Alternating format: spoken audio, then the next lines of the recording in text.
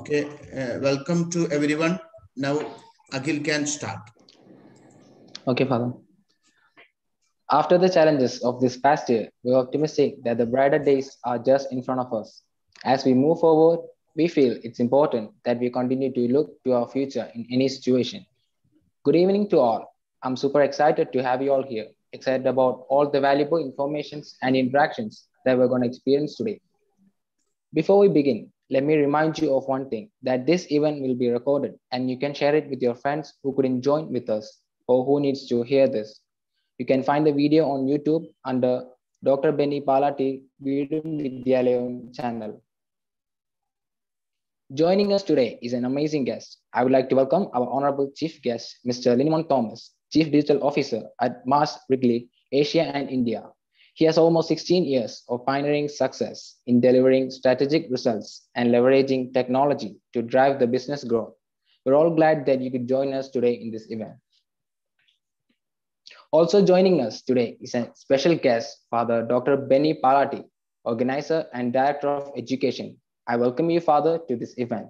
What's special about Father is that he loves helping young adults just like us to give us a push and more confidence to embrace our future in a successful and safer way. And now let me welcome our HOD, Vinod Chandransa, who's the backbone of our department and has a great vision in providing these events and activities to the students to move forward in their career. I would also like to welcome all the faculty members and all the students who has gathered in this online event. Now let's just head straight to the event. As we're about to begin this session, here's Father Dr. Benny Palatty to give an introduction about today's session. Over to you, Father.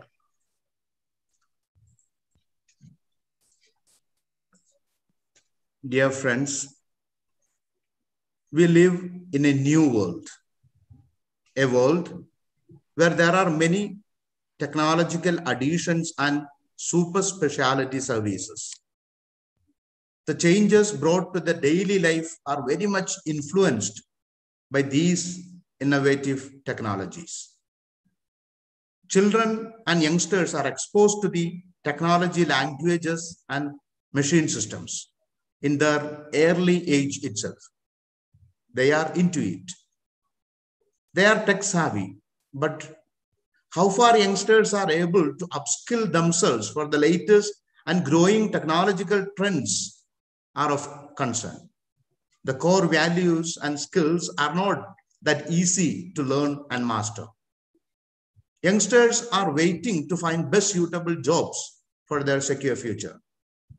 Finding out implications of later te technology for daily life necessities will help youngsters to create new avenues of jobs. Youngsters also need to skill themselves as per the latest developments in the technology. Completion certificates alone won't make them fit for the market. They need to aggressively move forward. Young minds can outshine. Innovation makes the technology always young and new. New normal after COVID is for the young. Youngsters have to grab the opportunities by upskilling and updating with latest tools. We have 29th session of My Career, My Identity at Dr. Benny Palatty Veedu Vidyalaya YouTube channel.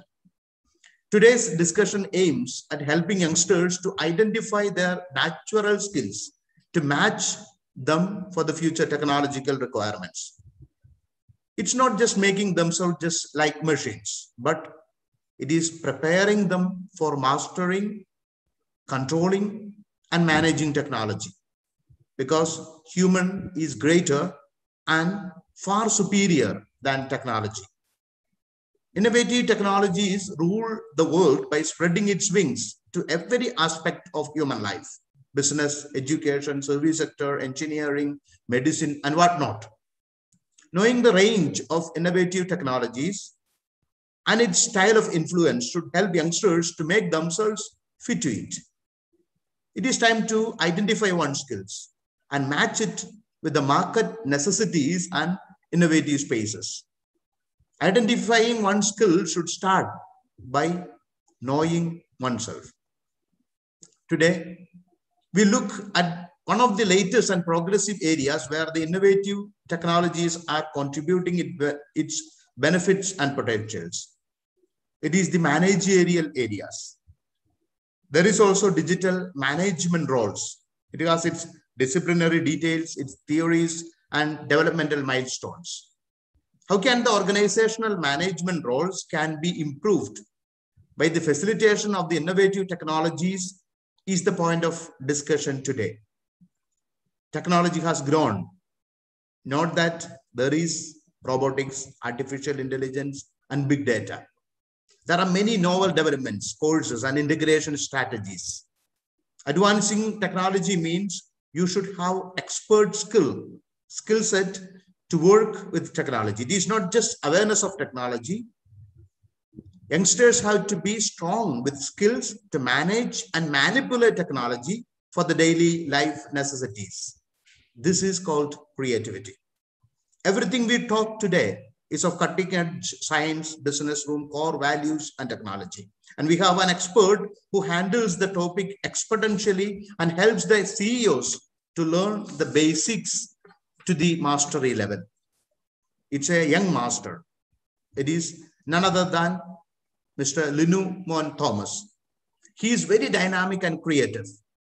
The leadership and managerial qualities in him made him into the great positions and leadership responsibilities. He is currently the Chief Digital Officer of Mars Wrigley, Asia and India. I am grateful towards Mr. Linumon for being with us today. We have also with us the students from Naipunnya College, Cherthala and the faculty. Welcome, everyone. Dear friends, let's discuss and interact with the expert. Enjoy the session. I invite you all again. Now, over to you, Akhil.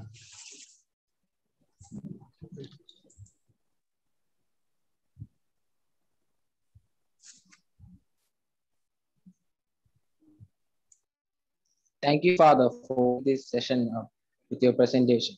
To tell you more about innovative technologies, here's Nivya Mall, second year BSc Computer Science student. Technology is science or knowledge put into practical use to solve problems or invent useful tools. Innovative technology brings major shifts and progress in every aspect of human life. We are creators of this innovation through our computer applications. Let us result great progress and change.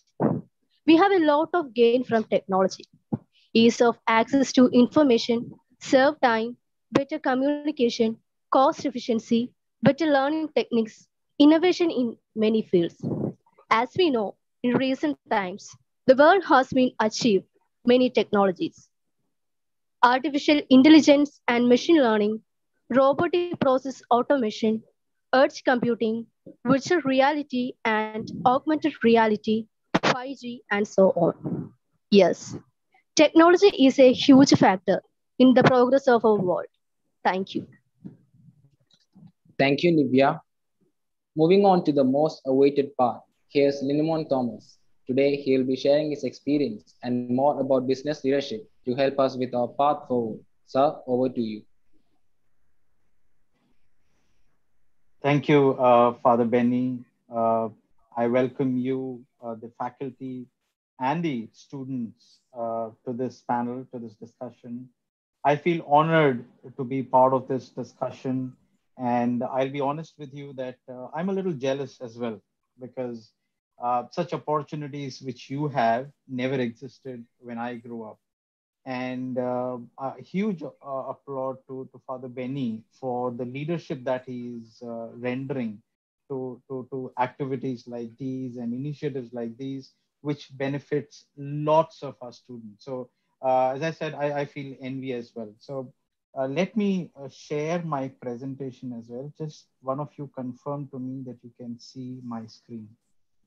Yes, yes. Great, thanks. So let me just first start talking about the reason I'm here is because I work for Mars. Uh, so let me just introduce my organization to you. Uh, Mars as an organization is almost a $40 billion company now.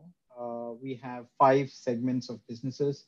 A lot of you may not be aware that uh, we, we also have pet care or pet products like uh, Pedigree, Whiskas, Sheba.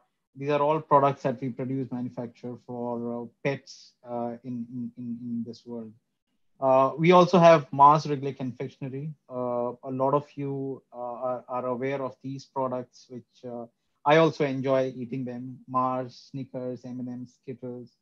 Uh, we also have a food segment, which is uh, which is pretty much predominant in the U.S. and Europe markets.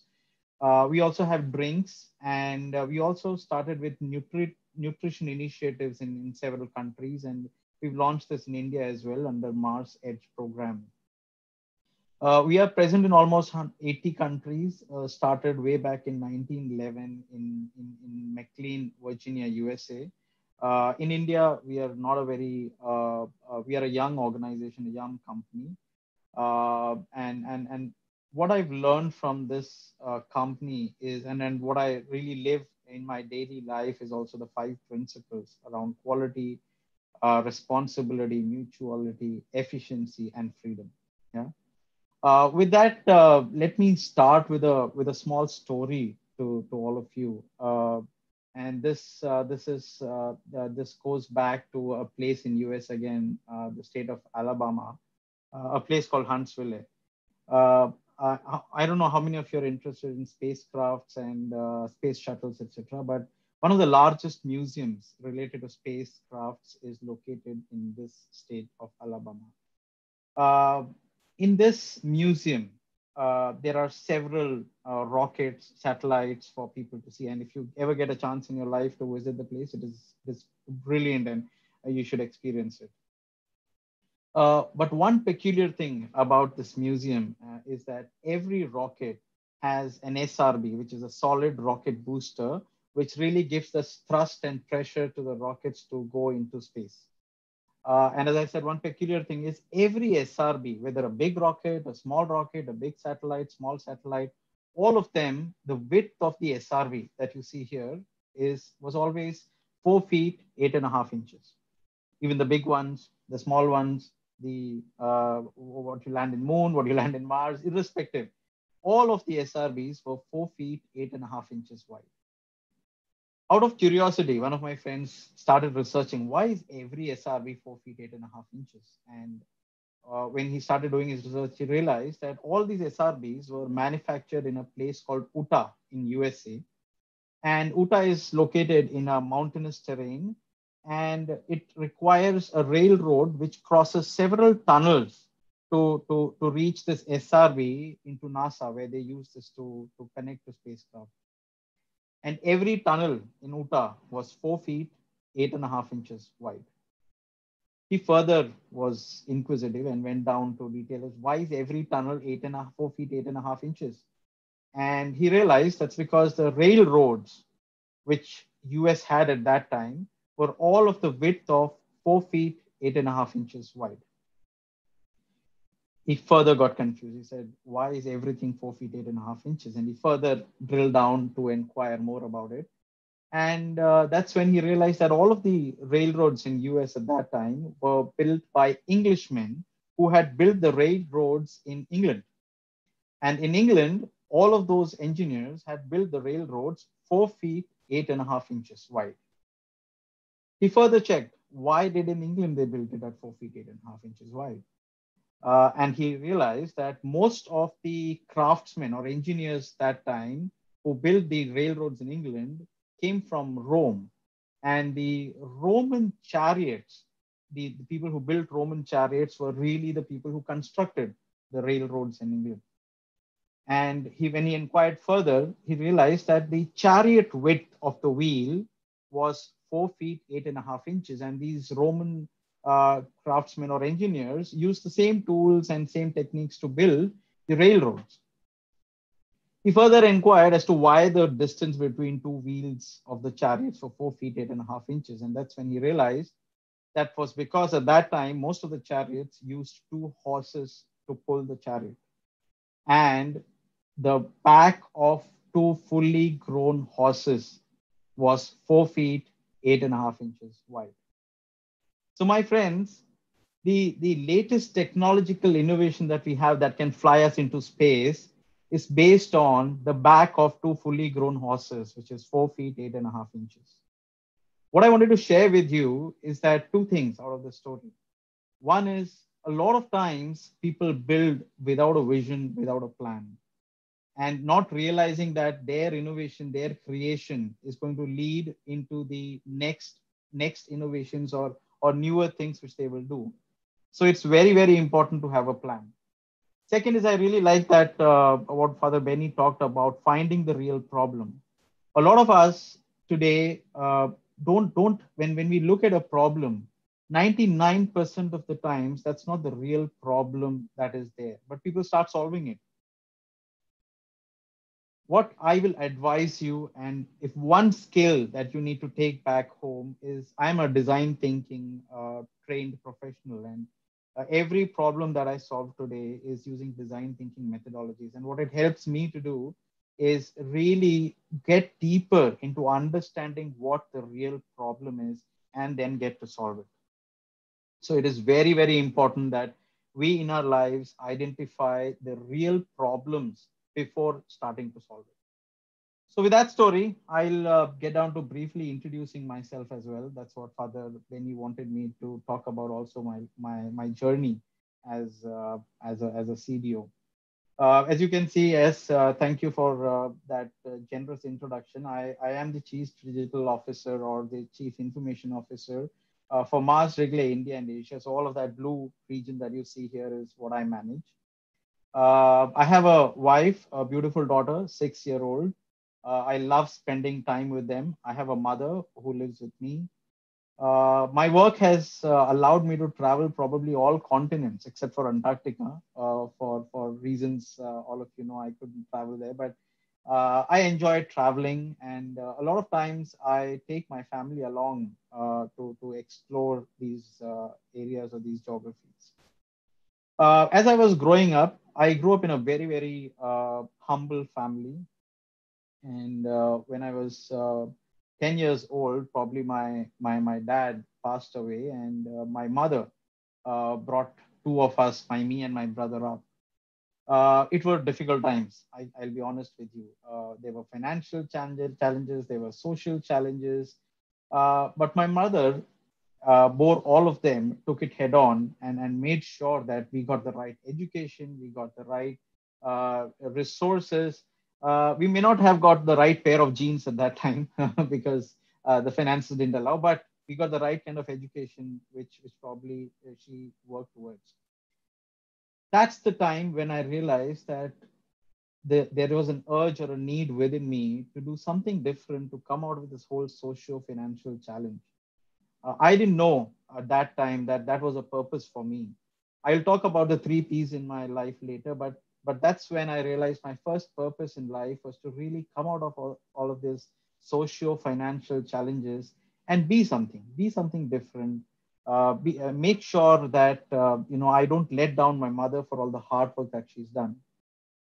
As I grew up, I uh, I, I, studied in Don Bosco uh, school in, in Delhi, and as I finished class 10, the obvious choice at that time was either choose a medical field or an engineering field. I was uh, my scores were pretty good. So my school uh, pressurized me to take up biology, to take up medicine. Though I was quite passionate about uh, computers because that was the new thing in at that time. And uh, you know, I don't know how many of you've seen uh, or or uh, or done coding in BASIC and Fortran and COBOL, but those are the languages during those times. And uh, these were new things, and I found it very exciting, energizing for start working on some of these technologies. But uh, you know, my the, the whole pressure around me was to take up medicine. Uh, in times when when you don't know what to do, in times when uh, you don't know which way to take, my mother always tells me, trust in God, He will find a way. So uh, she has great faith in God. Not that I have less, but I cannot have as much as she has.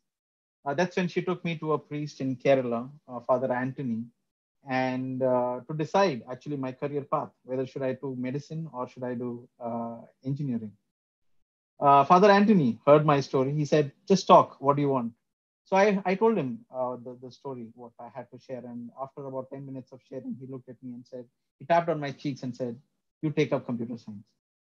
I took that as a sign of God and, and trusted in it and, and started doing computer science. Then I went on to do my bachelor's uh, in computer science, BSc. Uh, went on to do my MCA.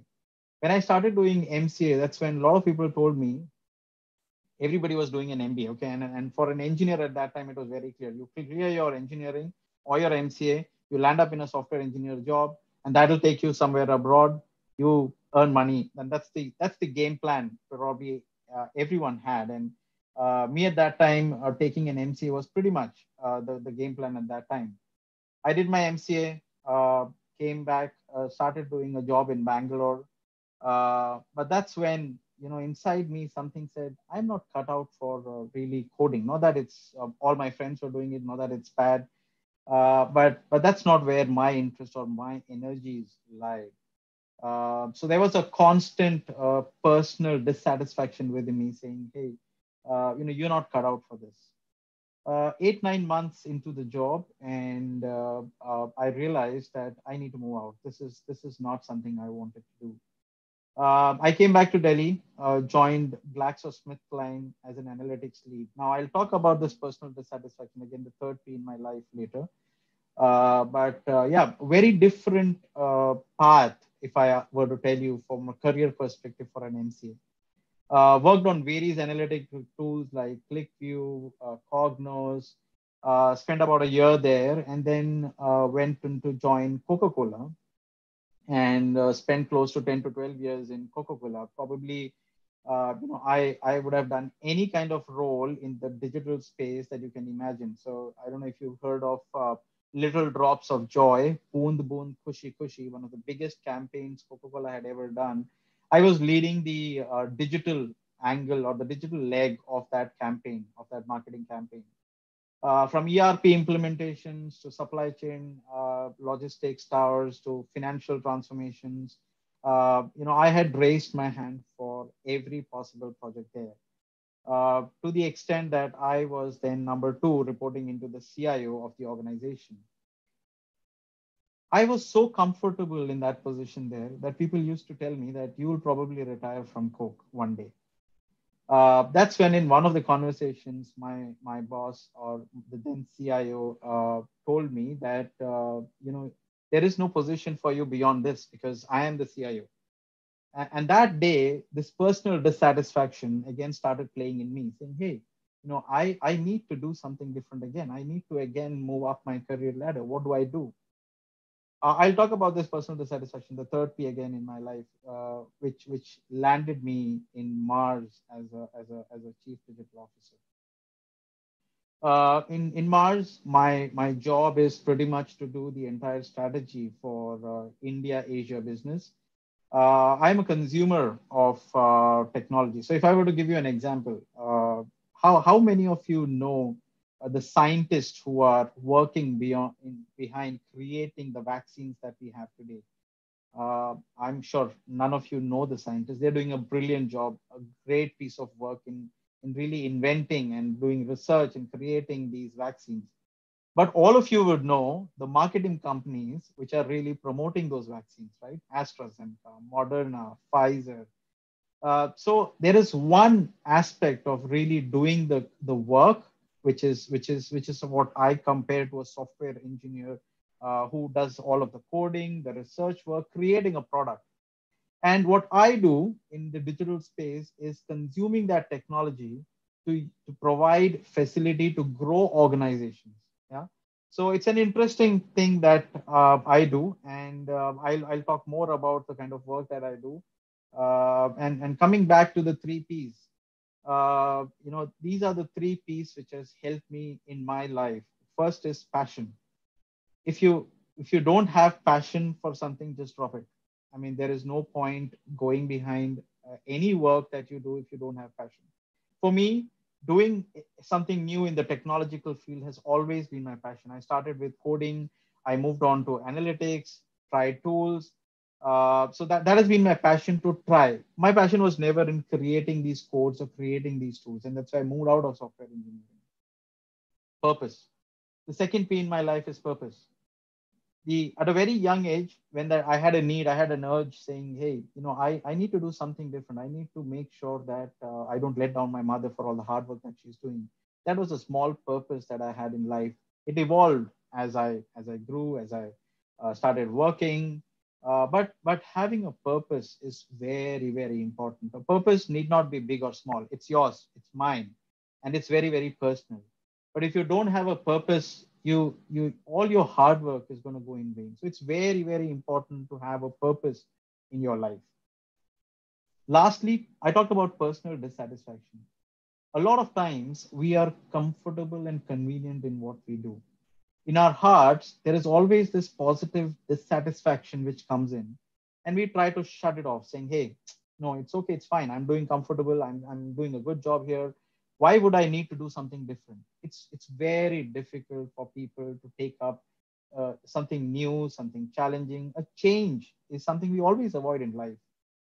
But I urge you and I and I and I want you to really encourage this personal dissatisfaction that comes comes within you because that's what that's what will take you to the next level. That's what will make you as as, as people who, who who others would acknowledge you. Uh, we we don't do that. So these are the three p's in my life which is uh, which is probably i call my success mantra. And uh, i wanted to talk about what inspires me. Uh, the first thing is that i i always nurture this personal dissatisfaction which is there with me at various phases in my life, these personal dissatisfactions have come in. And I haven't said, hey, take a back seat. No, I've, I've embraced them. I said, what is it? Let's take it on. Uh, in my career in Coke, 10 to 12 years, I probably have raised hand for any kind of role without probably uh, a gain, but just to learn what those things are. And, and, and always this personal dissatisfaction has helped me really grow in my career. The second is trust in God. When you don't have an answer to your problems, just leave it to God. There is a plan for everyone, but it is you who would make it happen. A lot of times we complain that uh, this is the plan I chose, but it never worked. Probably that was not God's plan, right? A lot of times today, the challenge is we fail to understand that God's plan. And we create our own plan and say, hey, we didn't do it, we couldn't do it.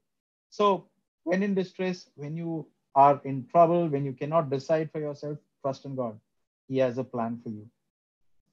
The third thing, what inspires me is, uh, you know, at, at, every moment in my life, uh, there have been people who have challenged me. Uh, at my mother at one point in time, uh, my wife at one point in time, who always challenges me to be better. When I moved from Coke into Mars, within three months, I would have quit my job and gone back to Coke. Primarily, first, because it was comfortable for me. Second, they were calling me back saying, Hey, why don't you join back Coke? You are doing a pretty good job.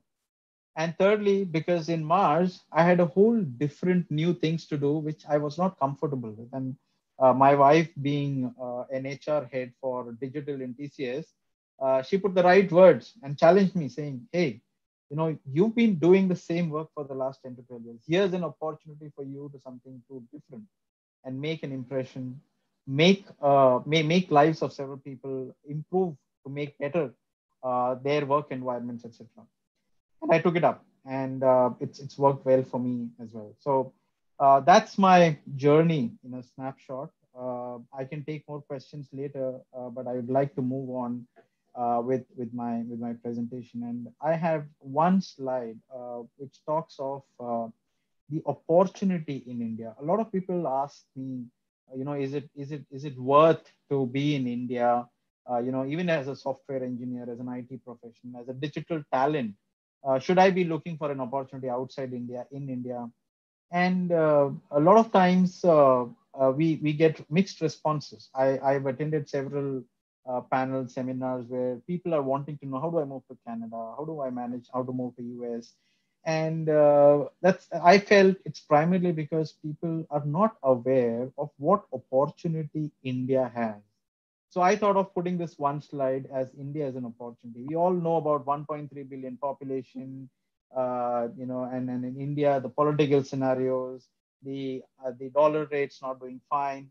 What people don't know is that India is going to be the next big market for any products that you can imagine.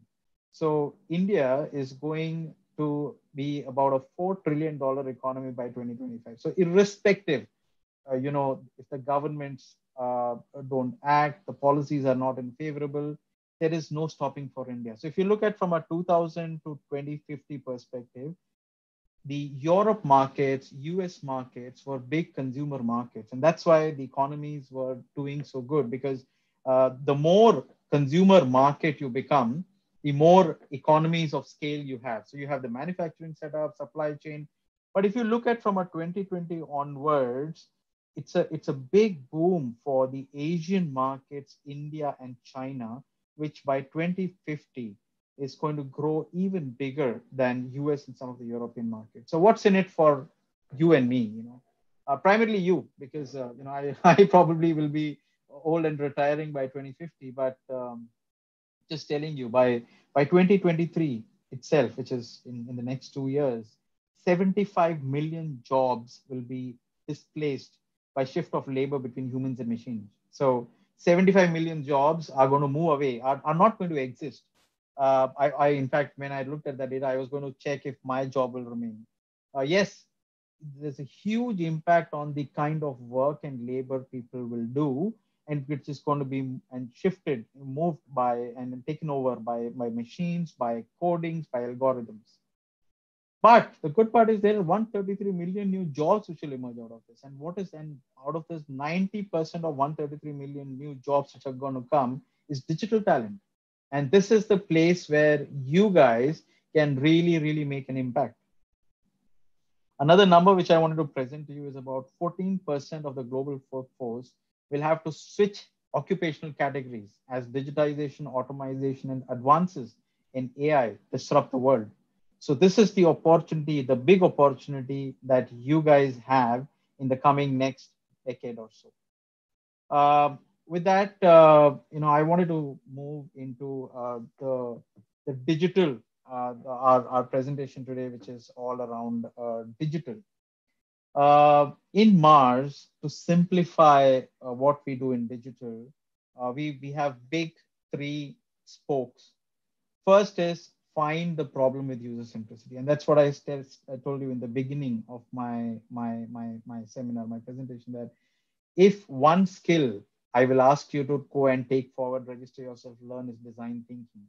Because most of the problems statements that that i get today or any of the business guys get today is is not correct. It's not correct primarily because there is an underlying problem lying. And how do we get to that is through these tools of design thinking and user centricity. The second is once you identify the right problem to solve how do you solve them you solve them through technology you solve them through ai you solve them through machine learning and I'm going to talk of some of these technologies, how I use to solve business problems. And finally, even if you solve the problem, we don't want resources to get used to continue to do that activity. So we again use technology to automate that solution and go and find the next problem to solve. So this is the digital engine that we use in Mars for, for any of the digital problems that we look to solve.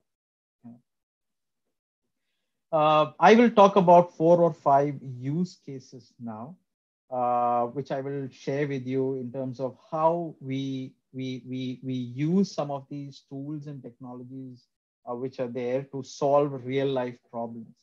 Uh, how many of you uh, know or heard of IoT? Can you just raise hands? I can't see, uh, or you can you can even respond if you have if you know about IoT uh, you can unmute yourself and just talk about IoT. IoT is Internet of Things. Anyone?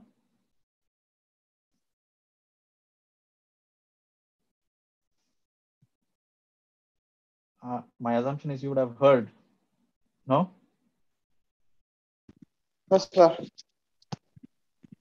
Yeah. So anybody wants to give it a shot? What what IoT is? What what is what is Internet of Things?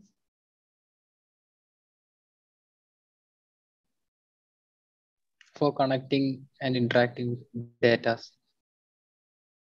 Right, right, right, Akhil. Thank you. Uh, I was a little worried if uh, I put you to sleep. Uh, yes, uh, IoT is uh, basically a technology you have sensors which you can plant in the physical world to capture data. Okay, a lot of engineers, a lot of researchers work on creating these sensors. Now, these sensors are uh, deployed on factory floors. Uh, it could be in your uh, house, which is capturing sound. It could be capturing temperature. It could be capturing any kind of data in the real world and uh, give that information back to you. And that's IoT. Now, uh, you know, my job is to really look at that technology and how we how we can use it for our business. One of the biggest challenges our business was facing, and if you've gone to any of the shop to buy Snickers, even Cadbury, uh, uh, Mars, any of the chocolate, you would have seen these shop or retail owners opening a small fridge and taking out the product, right? the biggest challenge that we were facing at that time was that we and these chillers are owned by the company uh, or coolers or fridge is owned by the company. And we were losing these fridge chillers because people would take them home. Uh, uh, retailers would take it from one shop to the other. Uh, also when when it is placed we don't know if we want to give quality products to our consumers. And that's one of the reasons we place these chillers because uh, these products are best consumed between a temperature of 2 and 18 degrees. And that's why these chillers were used so that we can give a product to a consumer when it is optimally, uh, it's not frozen, it's not hot, right? It's uh, 2 to 18 degrees centigrade. But uh, we don't know whether these chillers were at the right temperature, right location, or even there. Uh, so one of the jobs that I had was use Internet of Things technology what we did is used some of these sensors, uh, worked with one of our partners uh, called TCS, which really worked on the technology front in terms of creating codes, creating algorithms, uh, creating these sensors. And what we did is remotely, we could capture all of the chiller information like temperature, geolocations, uh, humidity levels of these uh, chillers. And uh, we could really see if any chiller, chiller moves from one location to the other we could know real time that hey somebody has moved this chiller. If the temperature humidity is not to the optimal the technicians would automatically get an alert to fix that chiller. Now we, we had close to 10 to 30 people who were really managing all of this activity suddenly with the whole iot technology which we put in place the business redeployed those 30 people into sales teams so that we can drive growth because all of this back-end activity could be automated through technological intervention. Yeah, so uh, that's that's one of the business cases uh, which I wanted to talk to you on on how do you use technology or how do you use technology or uh, technological interventions to solve real life problems. Uh, the other uh, business case which I want to talk of is uh, Halloween. How many of you heard of Halloween? Anybody who who can share uh, about Halloween? I know it's not an Indian festival; it's a it's a US festival. But any of you heard of Halloween? Yes, I have heard. Great. What have you heard, Akhil? No, it's just before Christmas, I think. Yeah, it's it's it's sometime in October or November, and uh, yeah, I used to Halloween friends. That's why I know about that. Yes, yes, it's a it's one of the biggest festivals in the US, and uh, uh, the the festival is all about uh, trick and treat. Okay, and when you say treat, uh, it's a big occasion for us to sell our candies, our chocolates in US and Europe markets. Uh, in fact, I've I've seen this festival now being celebrated in India as well. slowly, I, I've seen that commercialization happening, but imagine in a COVID situation. So, so what happens is the, the, the children or the or, or or kids from a community would go door to door, knock at the door, and when the door opens, uh, somebody would say trick or treat, and depending on trick or treat, they would give a get a candy from that house. Uh, it's a huge business for us. It's a multi-million dollar business for us in US. Imagine in 2020 uh, when all of the COVID hit and people were in lockdown, they cannot go from house to house, uh, how much of loss we would have incurred. Okay. Uh, so that's when, you know, we, as digital technology guys, uh, as a CEO CDO had, uh, we were asked saying, hey, you know, how can you save the company from a huge loss even in a lockdown? And uh, what we came out with was this innovative uh, application called Treat Town, which was sitting on the mobile phone of all uh, consumers, and you could create a virtual door. So if I have a house in in an X geography, I could create go map my house onto that uh, application and create a door for me. And virtually, people could knock at that door and virtually you can ask a question treat or uh, trick or treat and um, and, and and and and consumers would get a uh, you you could you could whatever treat you get the candies you get you could order it online. It will come to your house directly. Or you could get a voucher which uh, at the end of the month you could just go redeem at the store. So the entire business of halloween we served through this the tech intervention or a digital intervention that we were able to do uh, now uh, it's very easy right to create an app but the whole thought of how do you connect the, the business uh, story to using technology and making sure the business is in line is something that people like like like me do yeah. Uh, i want to talk of uh, another case study. Anybody heard of direct to consumer? Anybody anybody heard of it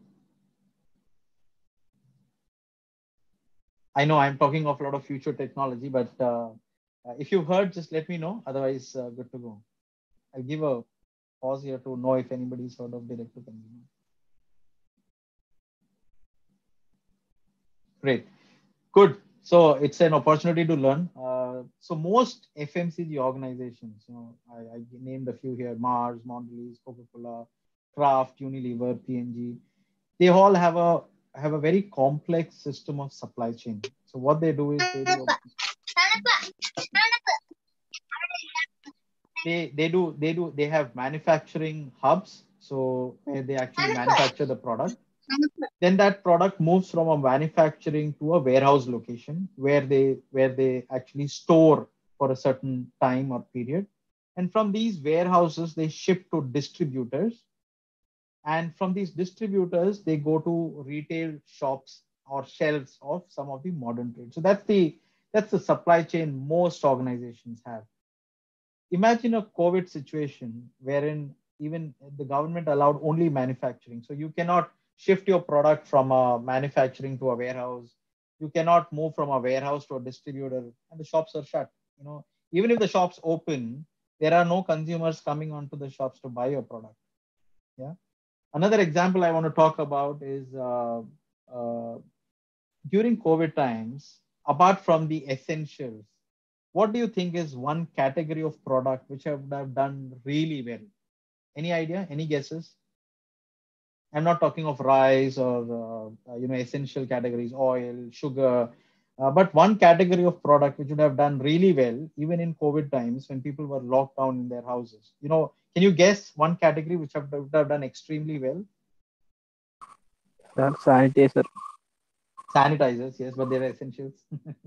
Yes they did a some kind of indoor indoor games. Indoor games yes they also did well yes. Anything else? Any any other guesses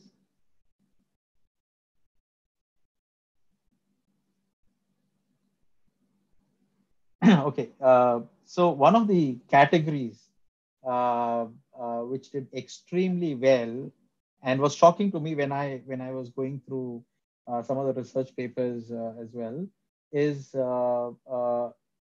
is cosmetics. Okay, L'Oreal as an organization grew multi-folds during lockdown, and I was surprised. I said, cosmetic people generally are using it for uh, face or or and, and and when you're in a, going out in a mask wearing a head cap uh, how can this category grow? And pretty much these cosmetics sell at a retail store and people try and test products. And there are there is no way that you can try and test products. That's when l'oreal was very very innovative and they started way back but 2020 they really uh, uh, you know uh, accelerated their journey around d2c and d2c is direct to consumer what these guys did is they created a whole channel where they where they bypass the entire supply chain so no more moving of products to warehouse, from warehouse to distributor, distributor to a retail point.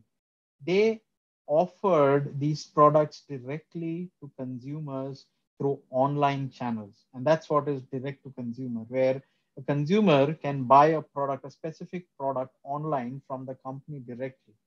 Who benefits? The consumer benefits because he has to, the cost of such products are much lower because it's not overweighed by the entire supply chain cost or what we call as overheads cost. So there is a cost benefit to the consumer and the company can transact directly with a consumer. So that's the, the big thing that is going to come in.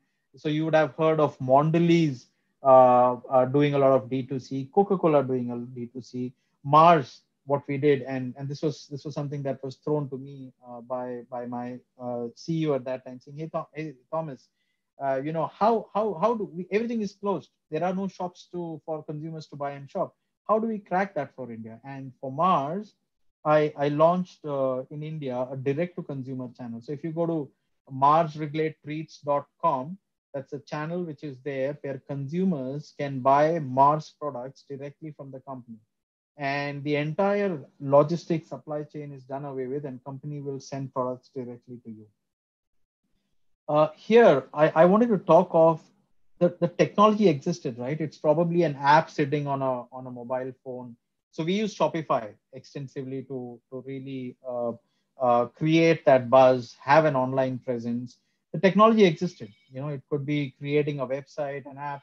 But how do you connect? How do you solve for a real world business problem statement and solve it through technology is something that uh, we guys do or my team does.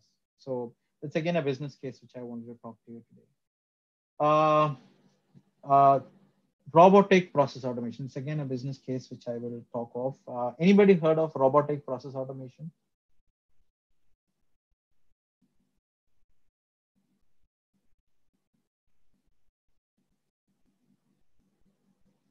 Anybody? Great. So let me uh, let me talk about. Uh, uh, I hope all of you are still uh, alive and uh, all of you are uh, still listening to my conversation. if it's too boring, just raise your hands. Let me know. Okay. I will talk of robotic process automation. How how it helps. So in in in in the tech world, there are bots or robots, you know, which which do our work. So uh, I'm not sure how many of you have taken um, Uber taxi uh, anytime. Have you ever tried a Uber taxi or, or Ola or, or any of these uh, uh app-based taxis? Have you ever tried them?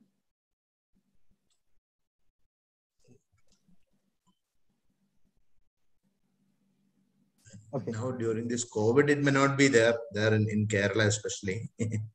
yes, yes. So uh, yeah, so when you face a challenge with uh, some of these Ubers or even Domino's, Pizza, uh, any of the online uh, providers, today you don't interact with the person on that chat. You interact with the bot. You, when you type a message on the chat window, it is not a person who's responding. It is actually a bot responding at the back end. So he, the, that bot will ask you for your name, your problem, and it would have an engine behind it, which is running on AI, which will provide you a response saying that, hey, this is this is what we can do for you. If you're still not satisfied, is when a problem gets transferred to a real agent who will talk to you. Right? That's the that's what bots do these days, and bots are deployed in in chat bots. Uh, one such deployment is what I'm going to talk of today. In our in our business world in Mars, we used to get a lot of orders from our customers. Uh, you know, send five cases of chocolates, uh, send 10 cases of uh, Doublemint gum. Uh, so all of these orders used to come in email and there used to be a team of three to four people uh, which used to just read the order and type that order into our ERP systems. Just read the order, type the order, read the order, type the order.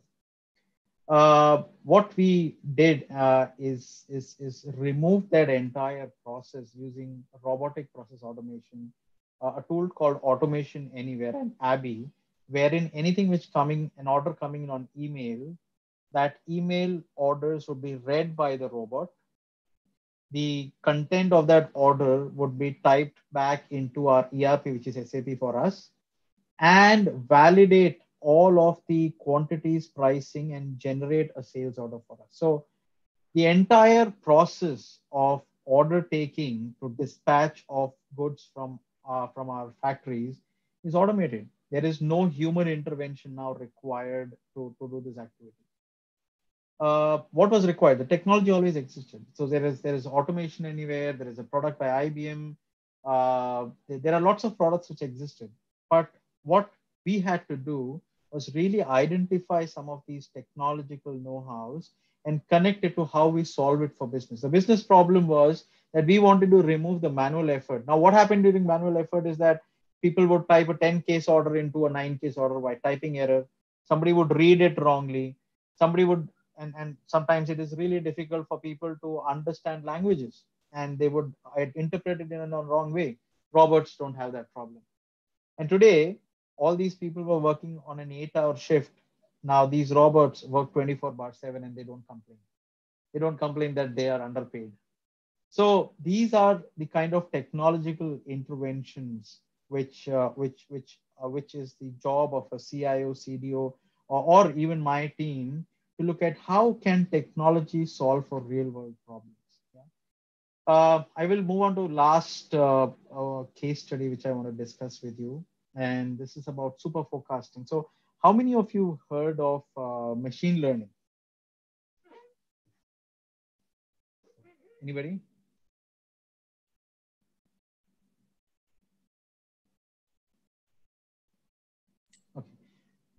I'm, I'm not going to uh, waste a lot of time there, but yeah, uh, a lot of FMCG industry does their entire planning and forecast basis historic sales. Okay, so uh, what we as a company or any other FMCG company would do is look at last year's sale, look at the trend, say we need to grow at a 10%, and then put that number. That's a year plan, year forecast.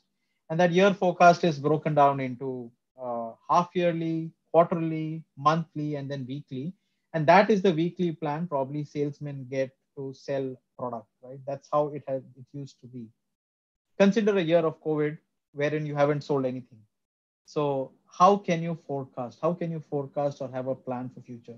So that's when we deployed a super forecasting model based on machine learning with an accuracy of 95% probability and takes 17,000 data sources, which means it takes uh, data sources like uh, the historic trend, what is the consumer behavior, what is the consumer thinking, what is the consumer saying, what is his liking and preferences, which markets are we good at, which products. So uh, I can tell you, for example, a Galaxy sells very high in Kerala compared to a Galaxy selling in Punjab.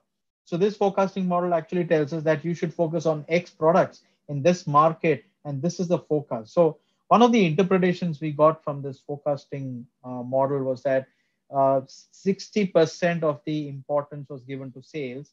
Post COVID, it is 36% advertising and 25% sales you know so so the whole the history of sales which was used as information and data for forecasting has reduced from a 60% contribution to a 25% contribution that's the power of machine learning and uh, technology always existed machine learning always existed but how to use it for business growth is something that we bring to, to the table as cios cdos with that I would uh, uh, wrap up the business case and uh, uh, share with you, you know, one final story. I, I like stories. I'm a storyteller. Uh, I like a lot of stories, and I'm not sure if you heard of this story on the bullet hole misconception. during the Second World War, every two planes out of three planes were shot down by the Germans. So, which means that if three planes are taking off, uh, into a German area, uh, the Royal Air Force, which is the British Air Force, uh, only one would come back. Okay, two were shot down. Now, Germany also had the state-of-the-art technology at that time. So, one of the uh, uh, you know the commanders or the the the the, the, the commanding in charge uh, was tasked at saying you know how do we will you board a plane which has a probability of one by three to, to, to for it to land safely? No, right? You don't want to lose people. So, so the commanding chief said, hey, we need to safeguard our planes. We need all our planes back. So how do we do that? So they studied a plane which had come back on, on the bullet holes on the plane. So they realized that uh, there were bullet holes on the wings, uh, the tail, the fuselage at the center. This is where all of the bullet landed. You know, so, so they took a lot of planes to study, and they realized that uh, most of the bullets were hitting in these part of the plane.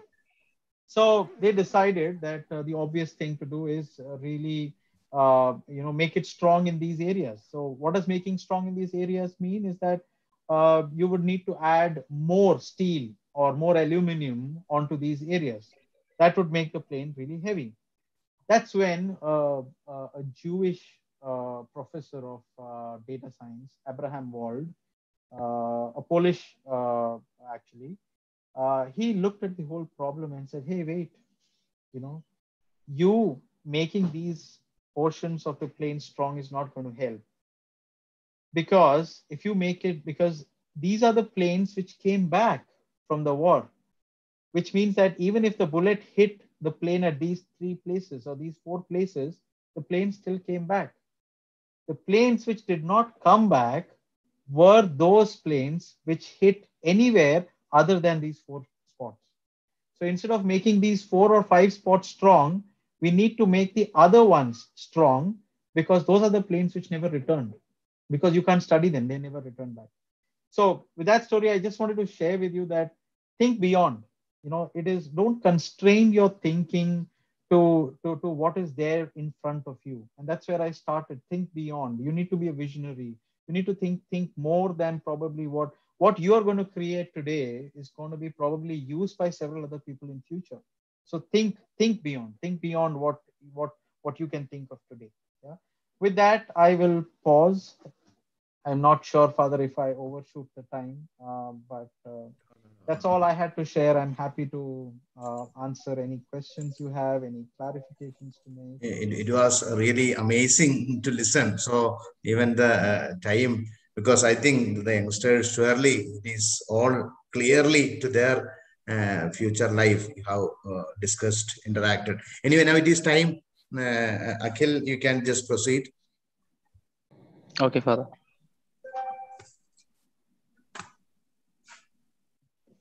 Uh, thank you, sir, for providing all this valuable information. Next is an interactive session. Now the students can ask your questions or any doubts to clear.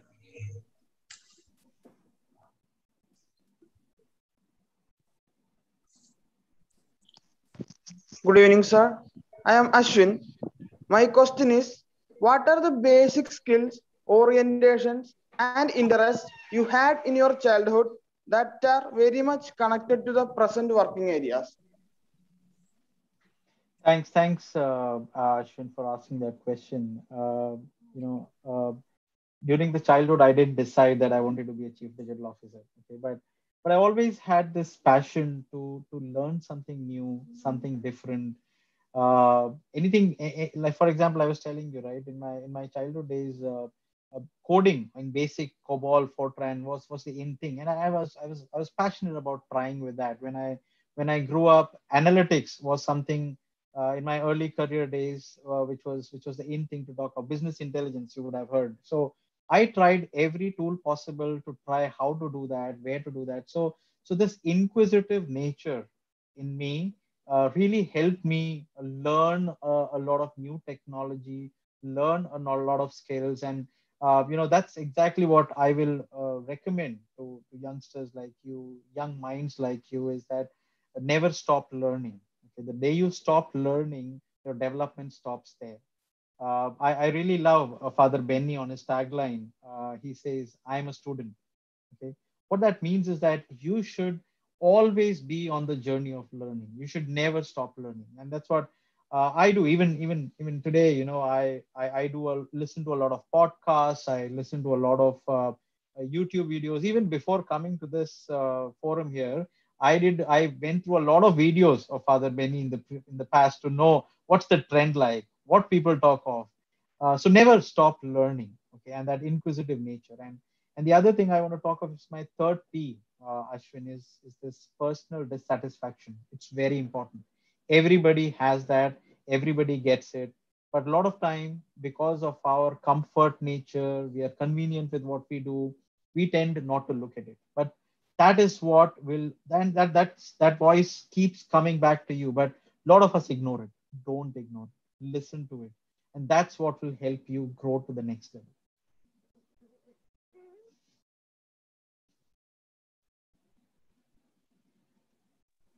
Hi, sir. I'm Nivya, and my question is You are best at technology and good at integrating innovative technologies with management roles. How did you develop these both skill sets, and what are the challenges in making yourself update and upskilled for both these areas? Thanks, thanks, Nivya, for that question. Um, interesting question. Uh, first of all, as I said, uh, don't stop learning. Every day is an opportunity. In fact, I, I find talking to this group also is an opportunity to learn. So don't stop learning. Every opportunity that you get to learn something new, take it. The second is it's it's it's there are there are opportunities always coming your way but the biggest challenge today is we are not able to identify that opportunity as opportunity. The reason is that we are very comfortable in our in our zones, in our offices, in our schools, in our colleges. I during my my my my 12 years in Coke, I, I mentioned to you that I probably did every role possible in Coke. Not everybody does that. I had raised my hand for whenever there was a job opening, there was a role. If I have not done it, I would raise my hand. And during the interview, most of the time people ask me, the interviewer would ask me, you don't have experience to this role. Why are you trying to apply? So I have, I used to tell them that I have experience for all the other roles which I've done. And this is exactly what I want to learn. So uh, don't hesitate to raise your hand when there is an opportunity. Uh, keep learning Okay, these are these are what uh, I would I would tell you. Good evening, sir. My name is Jobin. My question is, what were your hobbies and creative involvement when you were at the college level? Yeah, Jobin, during my um, college days, uh, I was, uh, so I think this is uh, peculiar to a lot of IT professionals that they're always good at uh, table tennis. Uh, uh, I I remember, you know, I, I, I taught table tennis to a lot of people, so I I really enjoy playing that sport, table tennis. And during during my college days, I always took time out to, to to network. you know, I, I I studied in St. Stephen's College, uh, and uh, I, I, I took a lot of opportunity to talk to different professors, even if I, they were not part of my uh, faculty. I would go spend time with them. I would talk to them. I would go beyond college to talk to some of the organizations, uh, their CEOs, their CIOs, invite them for seminars, discussions into college. Uh, so, so going out and exploring, exploring all of this is, is, is had been my uh, my passion during college days. Hello, sir. Good evening. I am Danesh. Sir, uh, what way computer application students can benefit adding managerial skills to their profile? Thanks, Danesh. A very, very relevant question. And uh, let me start with this. If you don't add managerial skills, you will not be very, very successful in your career. At the end of the day, you know, whether you you are you as a BCA student, as an MCA student, uh, as an MCA professional, all of you will be servicing or catering to some kind of a business, right? Uh, as I mentioned to you, I was talking of four or five case studies here where the technology is there and there is a business problem. So one who creates the technology, if he's not aware of the managerial skills, of the managerial problems, uh, you know, he cannot really create uh, an excellent or an amazing solution for that real world problem. So it is very, very important that uh, you, you understand real world business problems. Now, uh, how do you gain them, right? So uh, for me, uh, post MCA, the natural progression was to pick up a software engineering job, which I did. But as I said, I was not comfortable, and that personal dissatisfaction made me move into a business role. Uh, a lot of people don't get this opportunity. So, something which I recommend uh, to, to BCA students is you identify your purpose and passion. If you believe that technology is something that you need to pursue, go ahead into coding, do your MCA, go as a programmer, uh, and then you can grow there. But if you identify that you know your your growth areas or your potential or your passion within digital technology is not really coding, but getting into problem solving, you can always look at this area of work, which is more around CIO, CDO, uh, business analysis, etc. Uh, so those are the kind of uh, skills. I hope I've answered your question. Hello, sir. My name is Akhil Baiju. Uh, so as you already talked about that there will be around 75 million uh, opportunities around 2023 and also you talked about the robotic automation. So do you feel there will be a conflict between the man and machine in future? So I, I talked of 75 million jobs getting redundant. Additional 133 million jobs being created. When i said 90% of that new job getting created is digital talent. And that's why i said you guys are best placed to leverage that opportunity. Now uh, conflict between man and machine my perception and my thought is that there is never a conflict between man and machine. It is always a conflict between man and a man. Okay, why I say that is man created machines. Now, once the machines were created, they can be used for several purposes. Uh, when I say machines, these are algorithms, these are codes, these are uh, uh, robots, etc.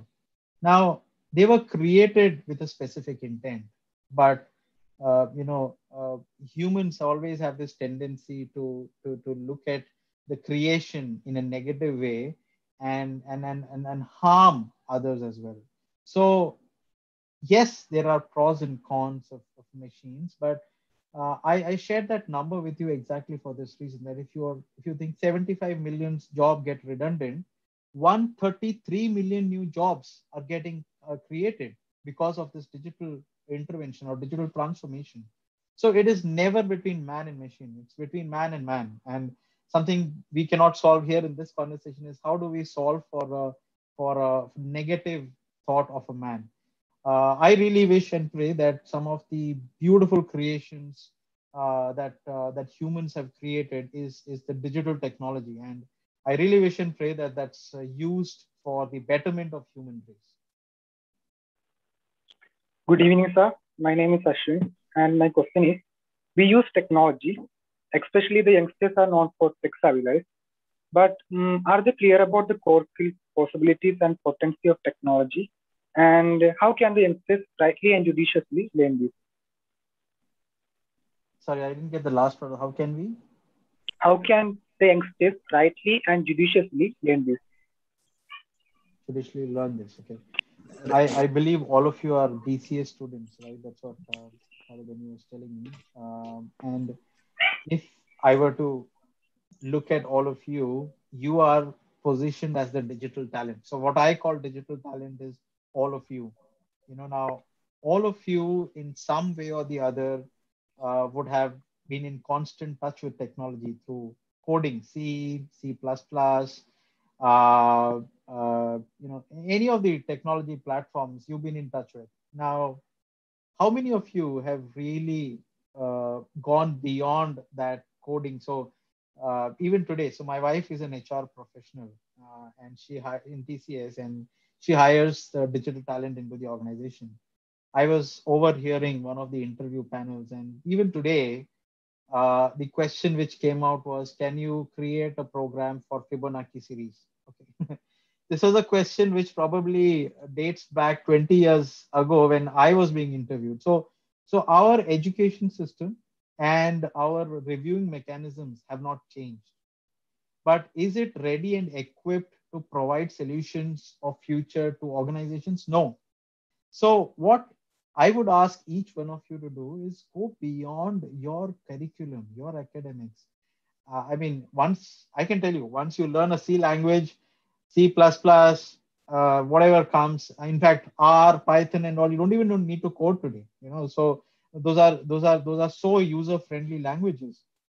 Uh, my ask of you, if you really want to be successful, is go beyond your academics. You know, the platforms like this, and uh, uh, thankful to Father Benny for really facilitating where you can really know uh, what are those things which the industry wants, what are those things which organizations are looking for. Do some research into those areas. Do some specialized. So I can tell you, if on an interview panel, if I have to uh, identify a BCA student for a job, if there are two students coming to me, if one has cleared academics with 80% and the other has cleared probably with a 60% or 65%, but he has other uh, areas which is uh, which which he has championed. So like Google Analytics, AWS, cloud technology. I would prefer that candidate over a over a BCA student who scored 80% because I can use that candidate for his knowledge, put him on a job right on day one. Whereas the other person, I need to train him on some of these technologies. So my my my advice to all of you is go beyond academics what teaches you i mean i'm i'm sure you guys are very good at it securing marks on academics go beyond that learn things which are there in the industry which which you probably will be doing and getting your hands dirty doing that work. Good evening sir. I am ashwin kumar. Can you please explain about the management role of technological innovations?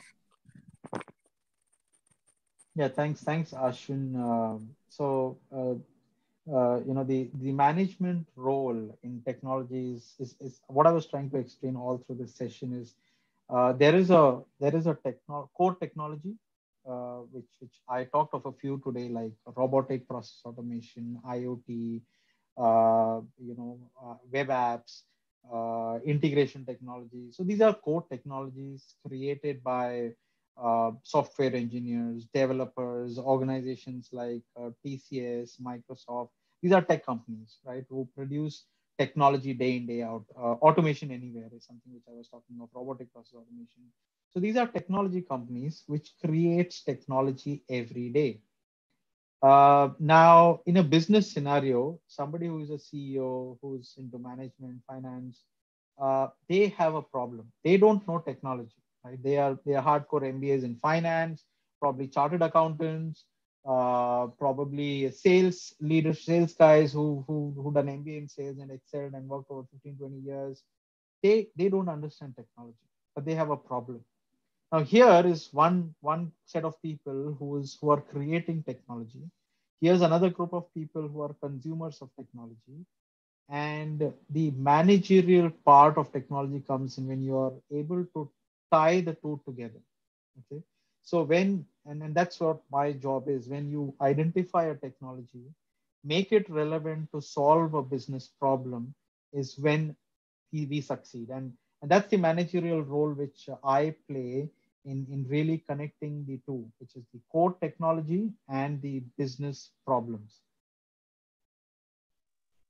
Hello, sir. Good evening. I'm Nivya Rose. Sir, you are young, but you have rich exposure to various international firms and management teams.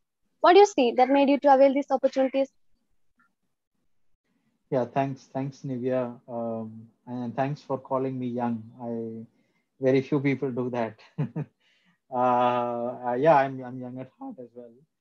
Uh, yes, uh, you know, uh, I I've got varied experience over the past 16 years uh, working with various uh, organizations. Uh, I travel the length and breadth. so I, I, told you, right, there's no continent which probably I would have missed. these may be the fun part where which people see. Okay, there is a there is a part to it in terms of how does it result into it. Okay, there is there is a lot of effort which goes into really doing it. Now, I'll give you an example. I mean, 12 years, I was very happy in Coca Cola. I was doing pretty good, getting paid very nicely. There was no reason for me to find another job or, or move into Mars. Uh, but as I said, this personal dissatisfaction always comes in, wherein it questions me in terms of what do you do next? What is it that will challenge me to, to be better? All of us have this personal dissatisfaction, but but we we don't take care of it because we are comfortable. We are comfortable in our homes. We are comfortable in our jobs, uh, and we try most of the time we silent it, saying, "Hey, I'm okay. Don't uh, pester me uh, with this dissatisfaction, right? But what I have done is I've always nurtured this dissatisfaction. I have not uh, uh, thought about whether whether and, and and talking of positive dissatisfaction. Okay, don't don't look at the negative dissatisfactions that you have. Uh, so I've nurtured these positive dissatisfactions and and taken and taken them to the next level to see what more can I do, and that's what landed me in Mars as a CIO, as a CDO. Okay, so uh, all of you should should not get comfortable with what you're doing. Always keep challenging yourself, keep questioning yourself, and whenever that personal dissatisfaction comes in, nurture it. Don't show it off. Nurture it, and, and and and take that as a challenge to to to, to grow, to take it to the next level. Me traveling across uh, globes, I have I have always raised my hand for any opportunity. So uh, during my tenure, I have I can tell you, I have worked across. Uh, you talk of a stream, and I've I've worked on it. So from a marketing campaign to financial tra- finance transformations to ERP implementations to business analytics to uh, supply chain, I have great business knowledge of the processes of each of these functions, and that's what makes me, or or, or that's why my uh, GM wants me to be the CDO, continue to be the CDO, because he knows that, uh, you know, giving a problem statement to Thomas, he can solve for it, probably because of the experience that he has had in multiple functions and multiple roles.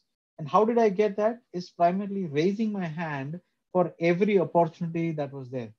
I could have been sitting there and relaxing and saying, "Yeah, I know this job well. I can continue doing it." I never did that. That that personal dissatisfaction came up. I raised my hands, took up the next job, again after three four years two years again took up a new role i kept moving roles and i kept trying new different things and gaining that experience and that's what has helped me really pitch me where i am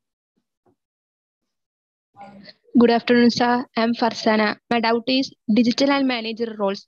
You are an MCA, but you provide leadership sessions for managers, how to integrate and manage them. Yeah, thanks. Thank, thanks, Farzana. And uh, I can tell you it is not an easy shift for me as well.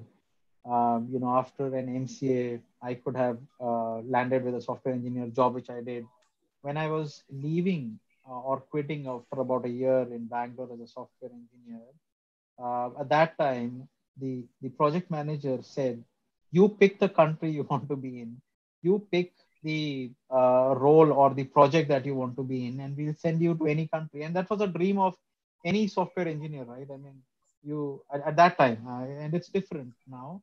But at that time any software engineer's dream is you you you you complete your education you get some experience you go abroad earn some quick money come back uh, this is a this is the aspiration but uh, for me i said no that's not what i want to do I, I, I want to that that personal dissatisfaction again me saying, hey, uh, you know that uh, you're not cut out for this. You're cut out for uh, for asking questions.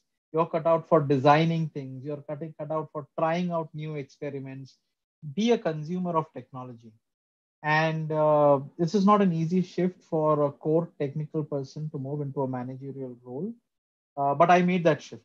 I, I raised uh, my hand for it and moving into managerial role it is very very important to understand business processes so uh, a core technology person may work on a particular piece of technology if it is SAP if it is uh, uh, python he'll work on a particular technology but managerial skill is all about knowing about different functions and processes. So you have to be a champion on finance processes. You have to be a champion on manufacturing. You have to be a champion on uh, sales. You have to be a champion on supply chain. So it is very very important that you understand each of these processes how they are tied together and then bring in your technology head and say hey this is a solution which fits in well. So if you cannot if you do not understand business processes you cannot be into this role. You, you need to understand the businesses really inside out to, to, to solve for it. Good evening, sir. My name is Murali Krishnan. Sir, I have a question. What are the job opportunities of BCA and MCA in managerial roles? Uh, thanks, thanks, Murli, for that question. 133 jobs is what you have. yeah, so uh, uh, I, I, I, I can tell you, Murli, that uh, uh, you know, with the opportunity which I showed that India is going to have, which the world is going to have, it's pretty much 90% dominated by digital talent. And all of you uh, on this uh, webinar today are digital talent.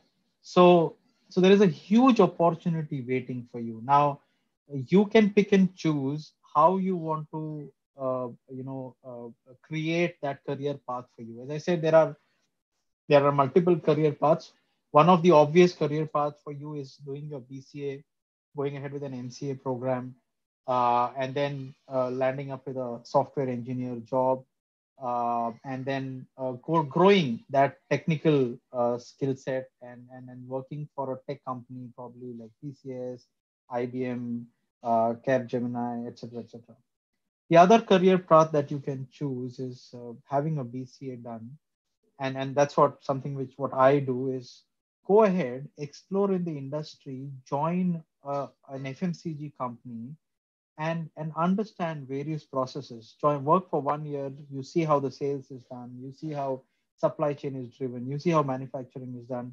Then you go and do an MBA, and then post your MBA, do join as a business analyst in even in a tech firm or a CPG organization, and then because then you bring in that that amazing talent, the combination of business knowledge plus the tech knowledge, which is which is really really valued in the industry. So so those are two career paths. But as far as the opportunity goes, sky's the limit for all of you guys. I mean, the, the next decade or so, I would say that uh, uh, you know it is it is going to be all uh, about digital. And if you are a digital talent, uh, you know it's it's it's it's your time. Hello, sir. I am Binoy. My doubt is, as we know, there is digital management courses. Is it same as integration of technological innovations into management? Is there any courses available for it? Uh, thanks, Vinoy, for that question. Um, I am not aware of that specific course which you spoke of, uh, but uh, I can I can tell you, no course can equip you to to pick up a pick up a role or or excel in the industry. Uh, as I said, there are two career paths. Even if you so one career path is, is is core technology. So what the course that you are suggesting may not be a core technology course, uh, which is more of a managerial skill set, which is all about uh, uh some management courses, etc. But uh, if you really want to pursue your career in, in, in managerial path, I would suggest strongly that uh, you you explore through a job in the industry. So there are a lot of these internship programs which are available uh, uh, with a lot of organizations. Take care of take take advantage of these opportunities. Join a company. I can tell you, uh, you know, a lot of times. Again, it is about comfort, right? You can today's world. You can uh, you can reach out to uh, any company, GM, CEO, CIO, because all of them are on LinkedIn. I can tell you so many youngsters write to me saying, you know, uh, can we get an internship here in your organization? Can we try out this for about three months? Uh, sky's the limit. And I really like such uh, young talent who reach out uh, to industry experts saying, can we do this? Can we do that? So no course can teach you all of this uh, from a pure academics perspective, yes, some of these courses can land you. Uh, but if you really want to uh, go higher up, uh, I would strongly suggest to do an MBA in systems uh, post doing some kind of an internship or a work, which will pitch you for a business analytics role in any of the organizations. So that's a career path uh, academically that you can choose. Good evening, sir. I am Bhavya, and my question is Changing times needs to have innovative technical solutions. How can the youngsters prepare themselves for being creators of these innovations?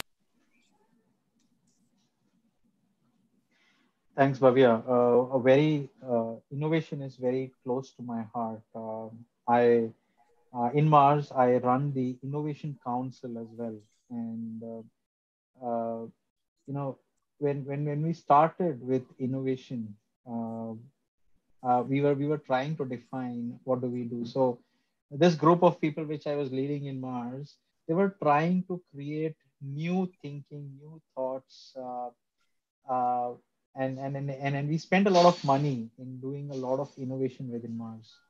That's when after six seven months we realized that innovation is not really only about creating new things innovation is also about solving for simple problems.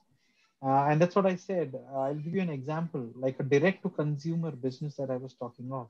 It's no rocket science, right? I mean, uh, uh somebody who's manufacturing, selling directly to a consumer, it's not rocket science. It existed, always existed. But uh, how do we use uh, this particular technology to, to solve a business problem is is is what was valued is valuable and adds millions of dollars to the organization and and you will also benefit in the end. If i talk of big innovations like uber like netflix do you think technology played a role? Yes of course technology played a role in terms of uh, uh, really how uber operates through an app. Before that what we used to do we used to give a call right? I don't know if you uh, used uh, meru or or any other car company in india where you used to give a call uh, but what did Uber do? Uber came up with an innovation saying, hey, we will give you an app. You don't need to call anymore, right? It was solving for a real world problem, which really landed as an innovation. So it is very, very important to understand that what do you innovate for? You innovate for solving a real world challenge, a real world business problem. Till the time you do that, the innovations are not relevant. They, they, they just are some real good piece of work that somebody does. But the day that piece of work is able to solve a real world problem is when the world recognizes it. So when you think on innovation lines, always think of what is it that you're solving for? Who is it that you're solving for? Hello, sir. I'm Sandra. Sir, my doubt is uh, we find changes everywhere, and the changes are majorly controlled by the innovation in technology. It leads to data analytics, uh, artificial intelligence, and machine learning. New equations and patterns of functioning management, evaluation, and analysis have emerged. So, what is the significance of this shift, and how should the students prepare themselves for this change? Thank, thanks, Sandra, for that question. Um, and as I said, uh, change is the only constant which means that every day the world is evolving, it's changing, and uh, you are part of that change. And then, Sandra, you people are the change agents, which means that you guys in the next 10 year or so will be responsible for bringing in a lot of change. Okay. So don't shy away. First of all, don't shy away from a change. Don't shy away from new things. Don't shy away from embracing change that's my first uh, uh, advice to you. And uh, the the moment you talk of all of this, the I mean, the, the next decade, 15 years, 20 years is is all about data science, AI, ML. Uh, I talked of super forecasting, right? Uh, the it, it, it's all about what insights you can bring basis all of that data to, to really grow your organization to the next level. And if you're able to do that, people will value for it. Okay, so so don't be afraid of change. And uh, your question on AI, uh, ML, etc. Yes, they are the technologies which are going to stay, and which are which are going to really. So when I talk talked of uh, uh you know the 133 million jobs which will get created, it is all around the space it is all around AI, it is all around machine learning, it's all about data science, it's all about uh, uh, integration uh, of these technologies into managerial uh, uh, skills and managerial jobs. Yeah. Thanks. Thanks, Sandra. Hi, sir. I am Joel. My question is that how can the digital and technological innovations bring changes to management roles? And what are the ways to organize them? Yeah, thanks. Thanks, Joel, for that question. First of all, uh, a lot of these roles will not exist. Okay, so a lot of managerial roles which you see today uh, will cease to exist in the next three to four years. They will not be there anymore because a lot of these jobs will be taken up by probably machines, systems, robots, algorithms. Now, uh, to your question, how do we integrate? That's yours and my job, right? Uh, that, that's that's that's my job, and that's that's what I get paid for.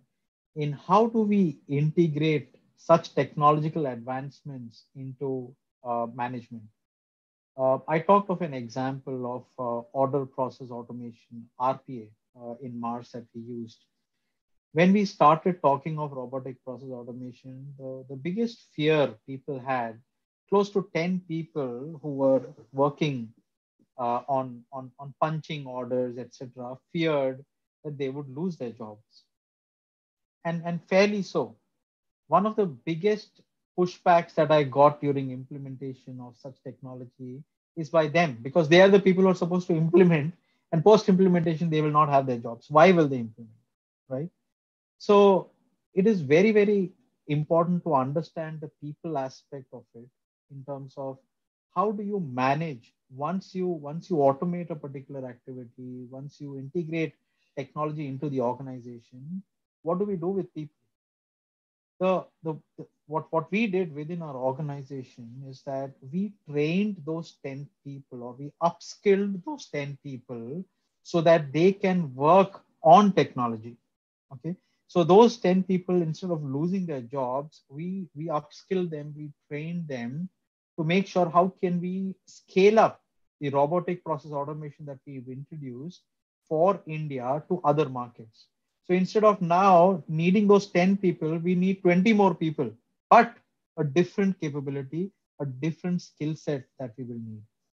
Yeah, so that's that's about integration of technology with uh, with, with management. Hi, sir. My name is Joel Sabu. My question is, what is the future of education?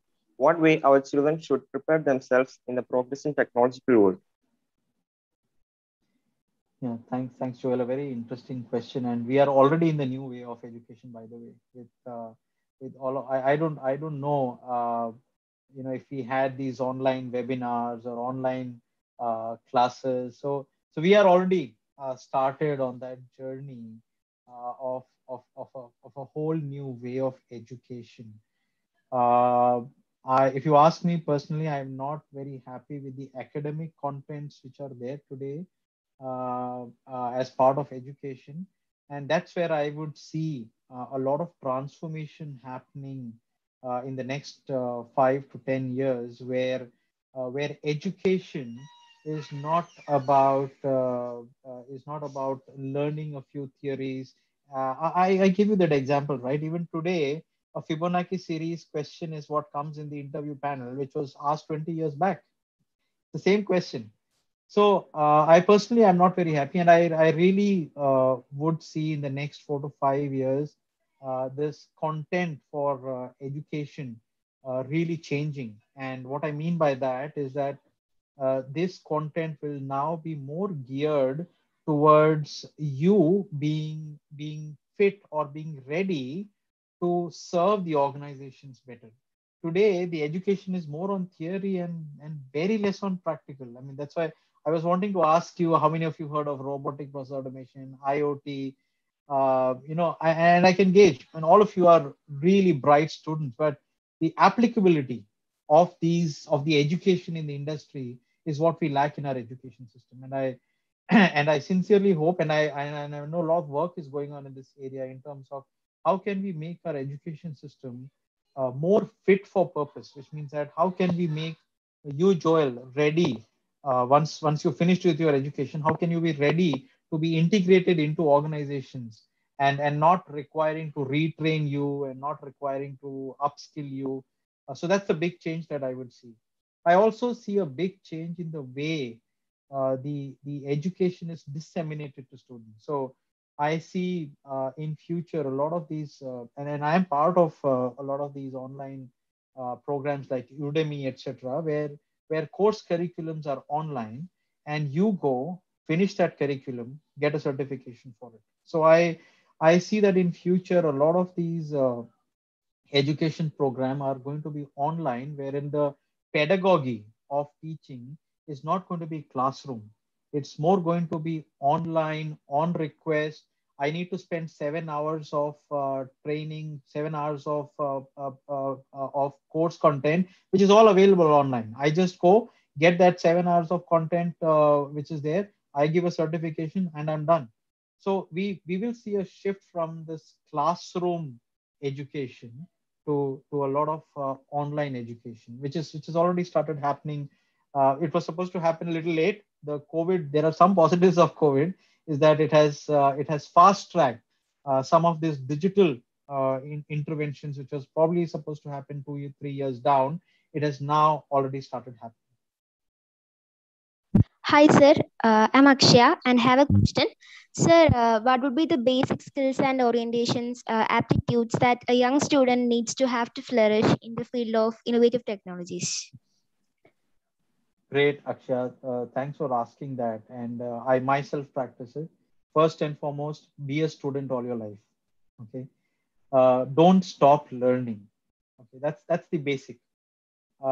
as I said, I uh, I, I, I, I, I don't get time and but uh, whenever I get time what I what I try doing is uh, exploring what's happening in the world do uh, so I, I I get a lot of these research papers from KPMG Deloitte uh, EY uh, they keep sending me latest updates in, in what's happening. What I try to do is get myself updated into what's going on in the outside world. What's the trend? Uh, what's the new thing in? Uh, and alongside I, I talk to a lot of my partners to say hey you know what's the new technology which is going to come in what's the next big thing that we're going to do?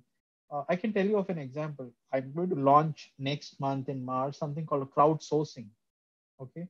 It's a it's a technology which existed but we are going to use it for mars now to reach out to millions of consumers who will now give us information which we used to do with research. Okay? So so so i would say keep learning. Learning you should never stop learning. You should keep exploring uh, what's going on in your space in in, in, in digital technology space uh, beyond what you what you do. That's one.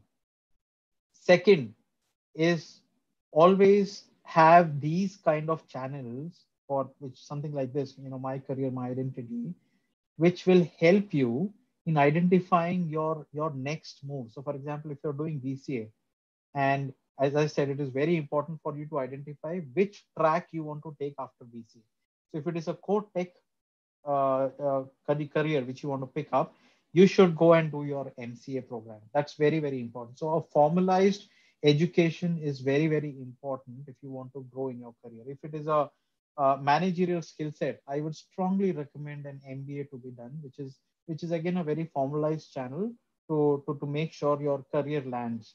So first is, you know, that, that inquisitiveness, that, that, that uh, quest for learning. And second is a formalized uh, channel for your education. These two should land you with the right career, with the right organization, and at the right place. Hi, sir. I'm Anglit. My question is how is artificial intelligence transforming in everyday business operation? Good, thanks, thanks, Anglit, Anglit for that question. Uh, you know, when when I was a kid, I studied artificial intelligence in books, okay, in theory. So, uh, you know, we, we I created codes. I remember wherein I can ask a question uh, and, and I fill in a database at the back end, and that program will throw me an answer. Okay, this was AI. Today, AI is not about books, it's about application. So you see all around uh, AI uh, running in, in its real form. So I don't know if all any of you have used Alexa. Have you have you used Alexa or or or Google Chrome? So my my my daughter today, uh, you know, has has stopped. Uh, I remember I used to use a cassette player to listen to music.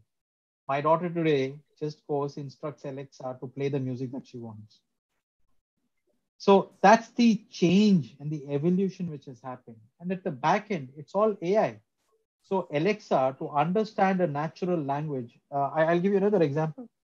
Uh, sometimes we talk in Malayalam, our native language, in uh, at home, and uh, we, we the other day, uh, you know, my wife asked Alexa to play some songs, random, and Alexa started playing Malayalam songs because Alexa all this while was listening to the conversation that we are having at home, understood the language, and said, for this home, for this person, probably the best language and song is in Malayalam.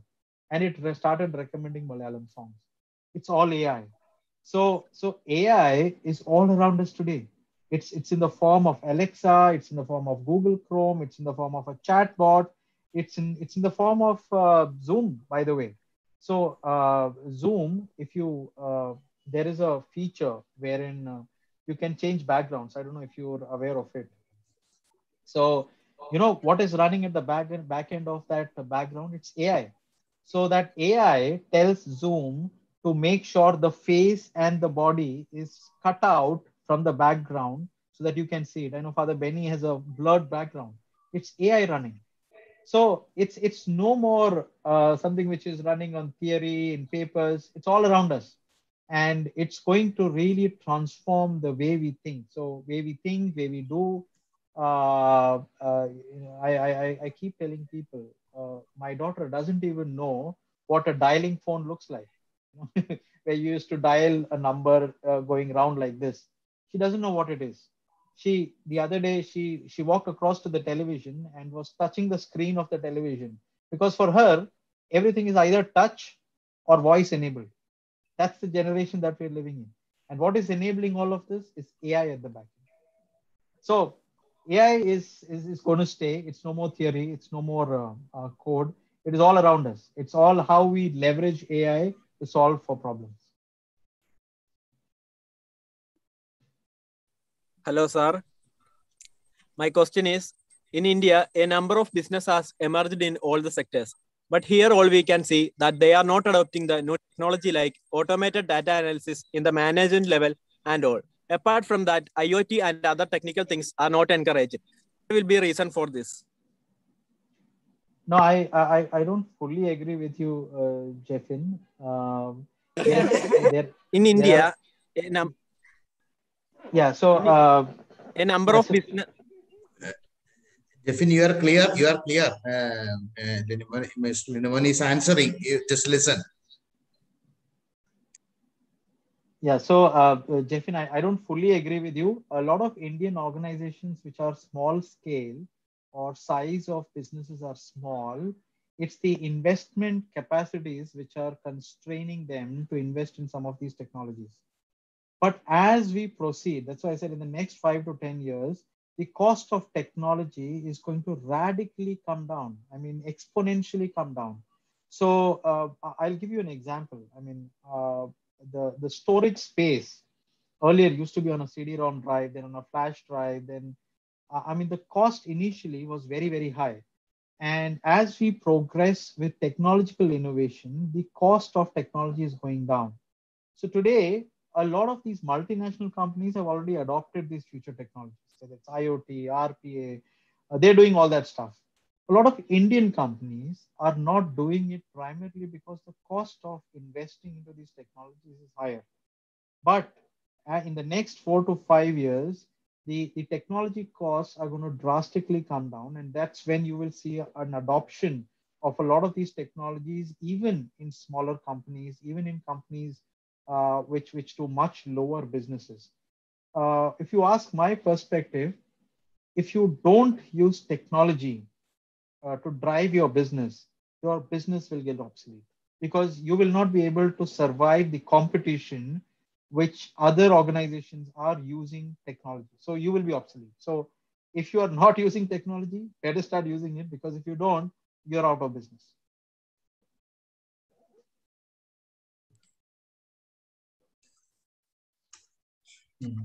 I hope uh, we are just concluding uh, I mean, the question answer session.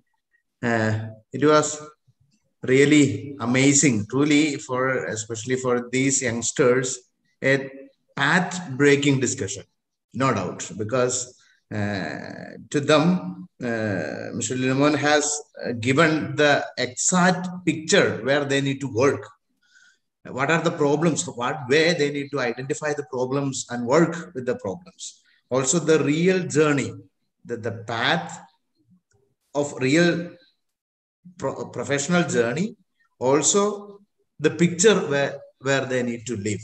It was very very crystal clear uh, about i mean not the forecast but it is it is what is happening which uh, even uh, the the academicians i mean the students are not able to identify so it is nothing forecasting, but it is what is happening in the technological uh, innovative world. Anyway, thanks a lot uh, and uh, the dedication and truly, uh, yes, you are young and you have come to this level and there is much more to do, no doubt, because the conviction, clarity, hard work, and, and futuristic vision and the way you work everything uh, truly uh, convincing that you have a greater future. It is not this is not your this is not the position which you need to reach. Anyway congratulations. And now uh, over to you akhil. Okay father. Honorable guests hod faculty members and all the participants on behalf of Naipunnya School of Management, I feel immense pleasure to take this opportunity to propose a word of thanks First and foremost, to our chief guest, Linumon Thomas, a massive thank you for taking the time out your weekend days to grace this webinar with your extremely powerful ideas on business leadership, integrating future technologies. You rightly talked about all the values and other pitching tips that can guide us for a better future opportunity. I want to say a huge thank you to Father Dr. Benny Palatty. Thank you, Father, so for putting this event together. None of this would have been possible without you. I would further extend a hearty thanks to our principal, Father Baiju George Pondempalli, and also HOD Vinod Chandansa for the interest in bringing the students forward to this event. I take this opportunity to specially express my gratitude to all the faculty members for always encouraging us and providing us opportunities to participate in such events. Last but surely not least, my deep sense of appreciation and thanks to all the students who chose to be live with us and attended this webinar with great enthusiasm and made it a successful event. Once again, I thank you all for being with us this evening. Have a great day ahead. Thank you.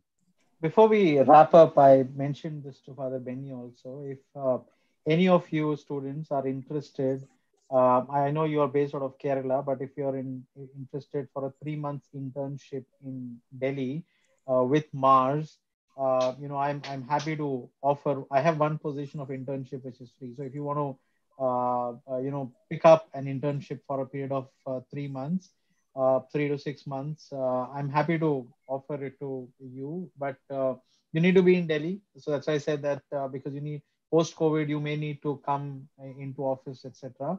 Uh, but I'm happy uh, if any one of you are interested, and we, we should be able to give a stipend of about twenty to twenty five thousand a month. So, uh, Father Benny, you can reach out to Father Benny or me directly if anybody of you are interested. So, okay, thanks a lot. It was uh, it was a great session.